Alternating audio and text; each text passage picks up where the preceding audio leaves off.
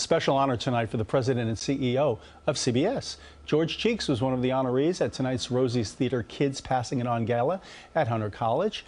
Mr. Cheeks is described as a lifelong fan and friend of live theater.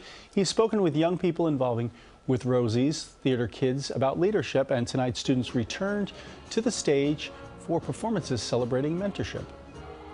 Look, it's such an exciting night. I mean, I'm humbled to be here. I'm so excited to watch these kids perform. I actually watched them perform, rehearsed about a month ago, and I was sort of blown away by the talent. So I'm glad they're going to be on a real stage and get a chance to perform for all of us. The Rosie's Theater Kids organization, named after Rosie O'Donnell, takes about 150 students from across the city and gives them free arts training. What a great program. Nice program.